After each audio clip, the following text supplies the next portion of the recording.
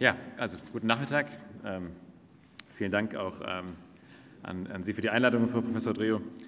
Das ist jetzt ein bisschen schwieriger Slot. Also jetzt hatten wir vorhin zwei Staatssekretäre, die offensichtlich wissen, wovon sie reden und das Thema von der politischen äh, Breite und äh, hohen Flughöhe bis runter in die Untiefen des IT-Stacks beherrschen. Äh, insofern, ähm, das ahnt und die beiden kennt, habe ich mich bewusst auf ein anderes Thema fokussiert. Ich würde also gerne wissen, was zu Cyber und Innovation sagen und der ganzen Frage, warum wir eigentlich ähm, auch heute uns vielleicht gerade an der Uni BW dazu unterhalten, welche Rolle Innovation spielt, welche Rolle Militär und Innovation spielen und was das eigentlich für Cyber und den Informationsraum bedeutet und in der Zukunft noch bedeuten wird. Wir haben äh, jetzt schon sicherheitspolitisch sehr, sehr viel gehört. Ich glaube, das Wesentliche ist gesagt. Der Cyber- und Informationsraum ist zu einem eigenen Operationsraum militärisch gesprochen zu einer eigenen Dimension geworden. Und äh, das Warum haben wir auch gehört von der Staatssekretärin, Cyberangriffe auf ähm, äh, TV Saint-Monde, durch das Cyberkalifat, äh, Anschläge in Paris und Brüssel, die man vielleicht schon anders hätte aufklären können. Aber auch der Fall Lisa haben gezeigt, das Thema ist sehr breit. Es geht eben um Cyber, es geht aber eben auch um den Informationsraum in Gänze. Und diese neue Qualität dieses sicherheitspolitischen Umfelds hat eben viel mit Technologie zu tun. Und äh, diese Folie, die ich jetzt eigentlich erst einblenden wollte, damit Sie nicht schon die ganze Zeit die Zitate lesen, während ich rede, äh, die ähm, zeigt, glaube ich, ein bisschen warum. Wenn Sie das sich anschauen, sind ein paar lustige Zitate dabei. Also Flugzeuge sind interessante Spielzeuge ohne militärischen Wert, hat zum Glück ein Franzose gesagt. Ähm, aber ähm, äh, auch andere Aussagen wie ähm, von Bill Gates, das Internet ist nur ein Hype, zeigen, äh, bei Technologie kann man leicht mal daneben liegen, man kann leicht unterschätzen, man kann auch überschätzen, aber die Tendenz ist eben dann doch tendenziell bei Menschen, dass man diese sogenannten disruptiven, exponentiellen Technologieentwicklungen eher unterschätzt, weil sie eben sehr schwer vorstellbar sind, wenn man über 10, 20 Jahre extrapoliert. Insofern äh, würde ich gerne auf diesen, äh, diesen Komplex eingehen, Technologie, Innovation und insbesondere auch die Schnittstelle zu Militär, Forschung und Industrie. Und äh, meine Nachredner werden ja dann nachher noch aus Industriesicht dazu ähm, sicher einiges beitragen. Das auch ganz bewusst hier eben am Technologiehub äh, in München, an der Uni BW und eben an, auch hier an der Schnittstelle zu Militär, Forschung und Industrie. Äh, ich habe fünf Thesen, die, die, ich einfach vielleicht kurz ähm, durchgehen würde. Der ähm, erste Punkt ist, soweit glaube ich so intuitiv, neue Technologien bedingen eben auch neue Bedrohungsvektoren. Ich glaube, da sehen Sie diese ähm, Zitate. Das ist ähm, nichts Neues in dieserlei Hinsicht. Im Prinzip entwickelt sich die, ähm, äh, die Art des Krieges eben mit der Technologie mit. Teilweise treibt sie auch die Technologie. Und wir sehen eben natürlich, wie der Staatssekretär Fitt vorhin sagte, auf der einen Seite sehr große Chancen, auf der anderen Seite eben auch die damit einhergehenden Sicherheitsrisiken. Die Chancen sind klar, das hat der Staatssekretär umrissen, die Digitalisierung von allem und jedem. Stichworte sind ähm, Internet of Things, Industrie 4.0, Big Data, Predictive Advanced Analytics. Die bringen eben auch als Korrelat Cyber als strategische Bedrohung. Äh, die Stichworte hier sind DDoS-Attacken, APT, Spectors, Hacktivists und Cyberarmeen. Dahinter steht eigentlich, und das ist, glaube ich, das Wichtige dabei, deswegen auch der die Bezug zur Technologie, nicht so sehr eine steigende Anzahl von Angriffen. Wir werden häufig gefragt, ähm, wie viele Angriffe habt ihr denn auf die Bundeswehrnetze und wie stark sind die gestiegen. Äh, das ist nicht immer äh, hinreichend schwer zu beantworten, aber ähm, faktisch ist es eigentlich nicht die Anzahl von Angriffen, sondern die Qualität, die technologische Qualität und natürlich auch die Raffinesse, die da konzeptionell dahinter steht, die uns eigentlich die ähm, größere Herausforderung stellt. Angriffe sind zielgerichteter und anspruchsvoller und insofern stärker auf uns gelenkt. Und das hat eben ganz, ganz viel mit technologischer Innovation zu tun, die eben das Battlefield, wenn Sie so wollen, das moderne Battlefield komplett neu aufstellt. Die Veränderung ist so rasant schnell und da in diesem Kontext jetzt von Experten ist das jetzt 5 Euro ins Phrasenschwein, das wissen Sie. Ähm, es ist aber wahr und insofern ist also die Frage, wie wir auch schnell daran teilhaben, wie wir uns schnell anpassen, wie wir eben an der Innovation teilhaben können. Zweite These und äh, das jetzt eben mit Bezug auf Streitkräfte. Die Technologieentwicklung hat über eben den Cyber- und Informationsraum eine neue Dimension für die hybride Kriegsführung etabliert. Deutschlands Sicherheit, das sehen Sie mittlerweile plakatiert, wird auch im Cyber und ich würde hinzufügen auch im Informationsraum verteidigt. Der gesamte Informationsraum ist also eine neue und zentrale Dimension, militärisch und sicherheitspolitisch. Da vielleicht noch mal kurz ähm, hier lang dargestellt. Das ist für uns vielleicht manchmal jetzt neu. Ähm, wir haben da in Deutschland und in Europa vielleicht noch nicht diese starke Betroffenheit. Aber wenn Sie die Zeitleiste sich anschauen, äh, in den USA hat mit der Operation Buckshot Yankee äh, das ganze Thema schon deutlich früher angefangen. Man hat dann eben daraus auch gefolgert, die, ähm, das Cyberkommando aufgestellt in den USA. Stuxnet hat das Ganze eben militärisch global sichtbar gemacht und äh, den USB-Stick für immer als eine ähm, sehr doppelseitige Technologie etabliert. Der OPM-Breach, Staatssekretär ist darauf eingegangen, das sind Millionen Daten aus der Agentur, der Personalagentur der US-Streitkräfte entnommen worden, weil die eine andere Schnittstelle haben. Da kommen wir zu dem Thema Architektur und dieser äh, vorhin diskutierten Frage, warum zentrale Governance manchmal dann doch so wichtig ist, wenn eben eine Agentur an einem anderen Netz hängt und andere Standards hat, dann kann das signifikante Implikationen haben und so weiter und so weiter. In Deutschland hat, glaube ich, der Bundestagshack das Thema klar etabliert. Ähm, für, die, für, uns Militärs ist allerdings äh, sind andere Themen dort tatsächlich relevanter. Das ist äh, Cyberkalifat, was eben klar zeigt, es ist ein klares Instrument geworden von äh, terroristischen Organisationen und eben auch ähm, äh, Insurgent-Bewegungen. Der Fall Lisa hat gezeigt, dass das Thema weit über Cyber hinausgeht. Es geht eben auch um Desinformation und äh, das, was man Propaganda nennt. Insofern geht es also bei Cyber um Information und Macht, also auch um Werte und Interessen und deshalb auch um unsere Interessen und Werte, die es eben zu verteidigen gilt. Die Gegner in Auslandseinsätzen, das zeigen auch unsere Zahlen in den Netzen, haben Cyberangriffe recht selbstverständlich in ihrem Portfolio. Deswegen müssen wir vorbereitet sein und das schließt eben äh, defensive Fähigkeiten, aber natürlich auch offensive Cyberfähigkeiten ein, die häufig überbetont werden, die aber natürlich zum Spektrum dazugehören. Dritte These, die Dominanz im Cyber- und Informationsraum wird auch stark über Technologie entschieden. Und die Ausgangslage hier ist nicht positiv. Wir können auch viel über das Thema Personal und Mensch reden, aber das hat die Staatssekretärin vorhin auch schon abgeräumt. Insofern will ich mich auf das Thema Technologie da nochmal konzentrieren. Die kommerzielle Digitalisierung läuft schneller als unsere zivilen und militärischen Sicherheitsmaßnahmen. Und das sagte der Staatssekretär vorhin, die Zielscheibe wächst somit schneller als das Schutzschild. Um genau zu sein, die Zielscheibe wächst eben exponentiell schnell. Und das eben in vielen parallel laufenden Trends. Moore's Law, also Microchip Performance, wissen Sie, verdoppelt sich recht regelmäßig alle 18 Monate. Wireless-Kapazität, ähm, dank äh, ähm, der Bestrebungen der Telekom und anderer, ähm, alle neun Monate schon Performance von ähm, ISPs, also Kosten zu ähm, äh, Effektivität, alle zwölf Monate Bandbreite Backbone alle zwölf Monate und diese Kette geht uns immer weiter. Das heißt, es sind eben nicht nur die Mikrochips, über die wir häufig reden, es sind eben etliche exponentielle Trends und deren äh, Summe äh, ist dann noch kaum vorhersehbar, macht eben die Digitalisierung so dynamisch und äh, so herausfordernd. Das gilt auch, auch wenn man es manchmal nicht glaubt, für die Bundeswehr. Denn die Bundeswehr ist durch die Digitalisierung auch von ihren Waffensystemen von funktionsfähigen und sicheren Netzwerken abhängig. Waffensysteme werden in der Zukunft nur noch als Embedded Systems existieren. Also kaum ein Waffensystem wird wirklich offline zur Anwendung kommen. Das ist in den USA schon zu beobachten. Das größte IT-Projekt der Amerikaner ist wahrscheinlich der Joint Strike Fighter, also ein hunderte Milliarden ähm, Rüstungsprojekt, das aber im Wesentlichen eigentlich nur ein Stück Embedded Software ist, mit äh, einer gewissen Schale drumherum. Die Hauptherausforderungen, die man dort sieht an modernen Waffensystemen, können Sie auch sehen. Die politische Debatte in den USA ist im Wesentlichen eine Debatte darum, ob die Architektur, da ist das Wort wieder die Architektur, ähm, sicher ist, ob man nicht ein, einer zentralen Serverarchitektur on the ground zu verwundbar ist, ähm, äh, ob, die, ähm, äh, ob Konfigurationen optimal sind. Es geht also nicht um Avionik oder typische Themen, die wir dort vermuten würden. Auch die Supply Chain wird zunehmend ähm, äh, zur Herausforderung. Sie war beim John Strike Fighter, wurde sie schon mal gehackt, das ist weit bekannt. Ähm, gibt auch Vermutungen, aus welcher Richtung. Insofern geht also ähm, mit der Digitalisierung auch in Streitkräften einiges an, an Herausforderungen einher.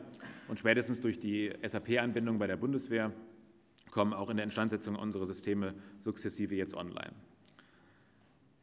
Insofern also Digitalisierung, die äh, Zielfläche wird exponentiell schnell größer, auch in den Streitkräften. Hinzu kommt, die Zahl der Angreifer ist deutlich größer als die der Verteidiger. Äh, wir haben nach unseren Informationen ähm, aus den Diensten Tausende bis Zehntausende äh, in einzelnen Ländern, wohlgemerkt ähm, auf der Gegenseite. Das schließt ein Militärdienste, natürlich auch ähm, terroristische Organisationen, Kriminelle. So viele Verteidiger kann die Uni BW bei allen Anstrengungen gar nicht ausbilden in Deutschland. Und äh, so viel können wir auch im Westen in der NATO in Summe gar nicht äh, entgegenstellen. Führt mich also zu der vierten These. Die Herausforderung ist ein Produkt von Innovation und die Lösung muss es auch sein. Wir können also zahlenmäßig dem uns gar nicht entgegenstellen, sondern wir müssen es technologisch tun. Und wenn Sie es mal ganz plakativ sehen wollen, was das bedeutet, dann äh, finde ich, illustriert dieses Bild ganz schön, äh, wie schnell eben kommerzielle Technologie äh, ähm, äh, Improvisationsmöglichkeiten bietet und zu einem sogenannten Leapfrogging führen kann, wo also unsere Gegner durchaus ähm, innovativ sind und äh, diese disruptiven Innovationen. Also das wäre in Deutschland nicht zugelassen, äh, da kann ich Sie beruhigen, aber wir können natürlich uns fragen, wie, was das eben für uns perspektivisch bedeutet.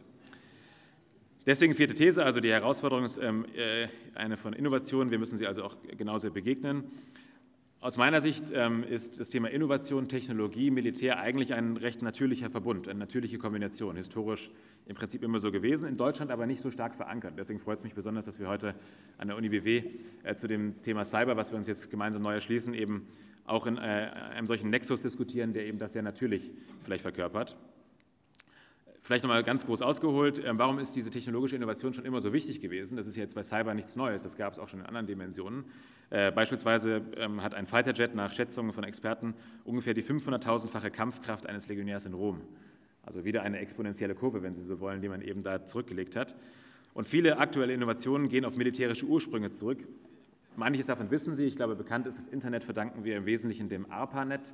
Das war also mal ein DARPA-Projekt. Ich glaube, äh, Frau Professor Dreher hat heute was zu DARPA gesagt. Es war also ein Projekt der US-Luftwaffe, die sich ein sicheres Teilnetzwerk für den Krieg schaffen wollte und damit das ARPANET losgetreten hat. Es gibt aber eine ganze Menge andere Innovationen, die wir heute eher kommerziell kennen, ähm, die aber auf DARPA-Projekte in der USA zurückgehen. Ich will mal ein paar Beispiele nennen. Ich hoffe, da ist eins dabei, was Sie noch nicht kennen.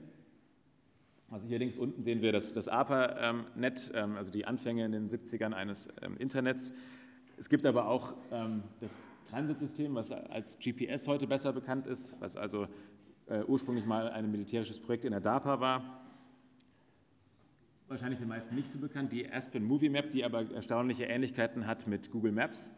Also das, was wir heute eben als Google Maps kennen. Kalo, besser bekannt Ihnen als Siri auf dem iPhone. Also ein, äh, ein äh, Projekt der DARPA und äh, viele weitere.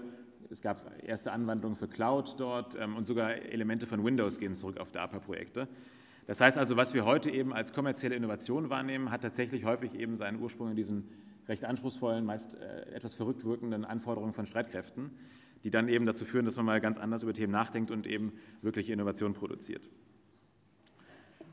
Was hat das für tun mit Cyber? Was ist die aktuelle Anwendung? Ich denke, wir haben es vorhin schon gehört. Wir haben viele Herausforderungen im Cyberbereich, die eben mit Innovation auch begegnet werden können. Wir, wenn wir in der Attribution besser werden, dann werden viele Fragen, die sich heute ähm, völkerrechtlich oder politisch stellen, technologisch leichter beantwortet werden. Und ähm, eins ist klar, auch im Cyberraum gilt, kein Staat, kein Geheimdienst möchte bei einem Cyberangriff erwischt werden. Das heißt also, wenn Sie die Attribution geklärt haben, haben Sie eine ganz wesentliche Herausforderung im Cyberbereich ähm, äh, ähm, äh, angegangen. Und insofern hat das viel damit zu tun, wie gut wir eben technologisch werden.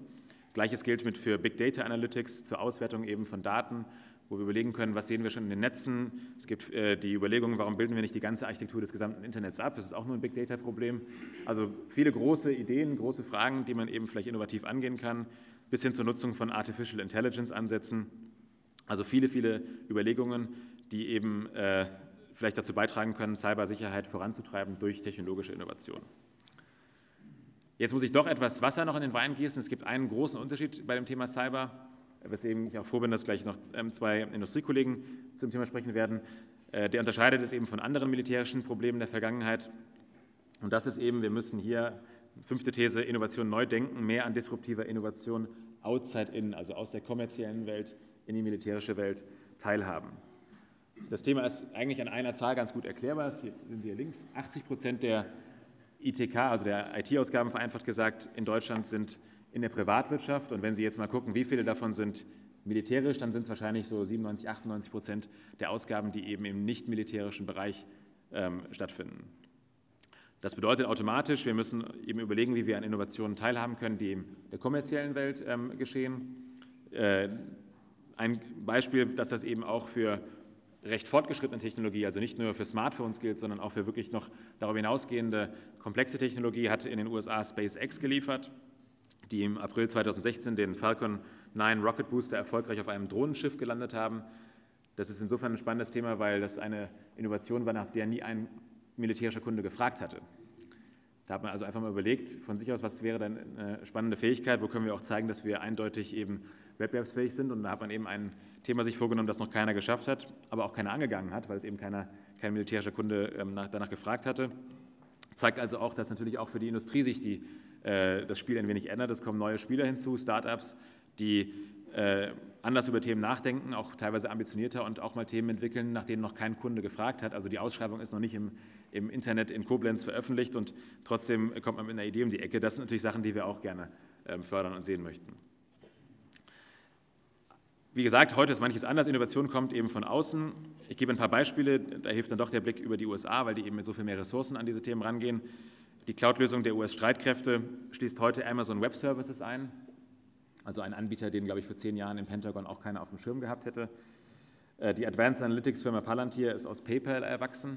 Das heißt also eine kommerzielle Firma, die äh, wie PayPal, die eben dann sagte, was haben wir hier eigentlich für Fähigkeiten, was kann man damit machen.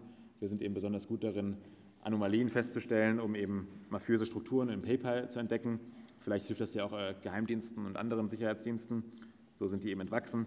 Und auch in der Bundeswehr ist ja nicht so, als würden wir es nicht auch tun. Wir nutzen eben auch ähm, SAP ähm, und äh, HANA für Big Data. Das heißt, auch wir nehmen eben kommerzielle Innovationen, äh, bringen sie in die Bundeswehr und gucken, was sie für Mehrwerte liefern können. Trotzdem ist es eine Herausforderung für Staaten und für äh, Militärs. Manche kleine Nationen sind da besser. In Israel und äh, auch in Korea geht das ähm, teilweise noch etwas intimer zu, da ähm, ist die Verzahnung höher, aber klar ist, auch wir werden es durch Clusteransätze, Verzahnung von Nutzern, Startups, Forschung und Wissenschaft, Industrie und Geldgebern auf den Weg bringen müssen. Und das führt mich zum Schluss zum Heute und Hier. Was heißt das für die Uni BW und für die, die Bundeswehr? Was heißt es aus meiner Sicht, meine Damen und Herren? Das Thema wird wichtiger. Es geht bei Cyber um Zukunftsfähigkeit von Streitkräften. Cyber- und Informationsraum ist eine Dimension von Aufklärung bis Wirkung. Technologie und Innovation werden über die Dominanz in diesem Bereich entscheiden.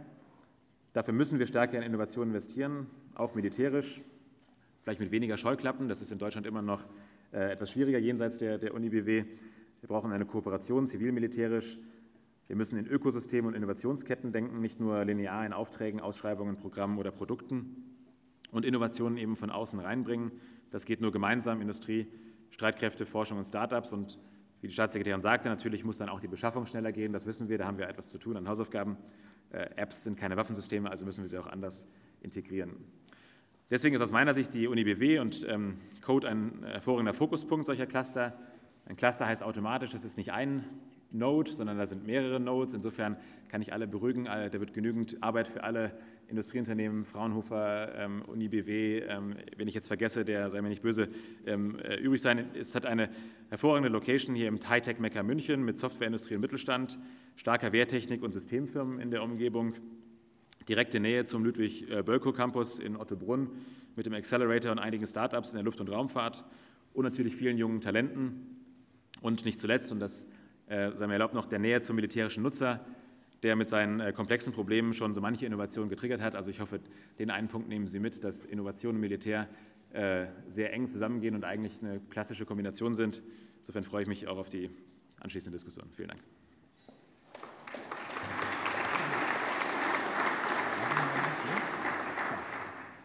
Ja, vielen Dank für diesen interessanten Vortrag. Wir haben noch ein paar Minuten Zeit, wenn wir eine Frage haben aus dem Publikum. Trauen Sie sich auch danach der Mittagspause. Gibt es jemanden? Bitte hier.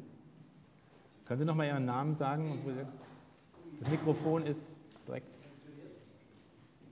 Eigenes Institut für angewandte Statistik. Ich möchte von Ihrer letzten Folie ausgehen. Sie sagen, schnell in die Bundeswehr bringen. Haben Sie Ideen, wie sowas geschehen kann, wie man das kanalisieren kann, wie Sie zum Beispiel erkennen, wann etwas eine gute Idee ist. Oder wenn es nämlich schon lange auf dem Markt ist, dann ist es ja nur noch halb so gut. Ja, ähm, also Ideen in der Tat, also gut, dass Sie Ideen gefragt haben, nicht gesagt haben, was haben Sie schon umgesetzt, das wäre immer äh, schwieriger. Also Ideen, ich glaube, es ist ähm, drei spontane Sachen, glaube ich. Wir haben uns ja viel angeschaut international, das ist ja kein Thema, das uns alleine beschäftigt. Wie machen das andere? Ich glaube, das Top-Thema schlechthin ist einfach Verzahnung, also eine viel engere Verzahnung, was man so Ökosystem neudeutsch nennt. Äh, ich glaube, das machen die Israelis vor, einfach beispielhaft. Ähm, da ist eine engste Verzahnung, die hat historische Gründe, die ähm, hat natürlich einen anderen Sicherheitskontext ähm, zugrunde, aber in dem Maße, wie sich unsere Sicherheitslage auch ändert und die Bundeswehr, glaube ich, auch in die Mitte der Gesellschaft rückt, äh, können wir, glaube ich, auch da besser werden. Deswegen glaube ich, Cluster-Ökosysteme sind der erste Punkt. Ich glaube, das zweite Thema ist, dass man bei dem Thema erst auch mal visibel und präsent sein muss. Also wir haben einen ersten Start-up-Dialog mal in Berlin gemacht, auch mit unter Teilnahme von Herrn Brandl. Und äh, das war total spannend. Wir haben festgestellt, es gibt viele Startups, die das spannend finden, die auch schon teilweise für lau mit der ähm, Bundeswehr arbeiten. Die wissen gar nicht, wie sie einen Auftrag kriegen. Die finden es aber spannend, weil die sagen, das sind irgendwie äh, spannende Kunden und äh, die stellen interessante Fragen.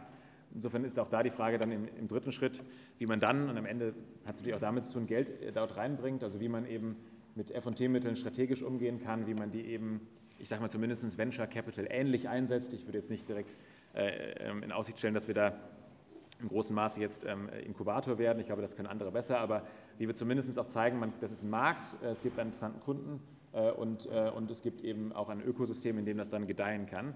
Und ich glaube, die Bundeswehr kann das anschieben, aber stattfinden muss es dann eben, äh, glaube ich, eben in diesen Systemen. Und was uns, glaube ich, helfen würde dabei, ist, wenn wir uns am Ende noch fokussieren.